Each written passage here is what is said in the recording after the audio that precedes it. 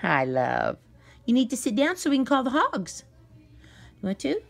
Oh, you're going to come hug me. Hi. Mm. Oh, thank you for my kiss. And going to eat the bone. No, no, no. Mm. Oh, thank you. Okay.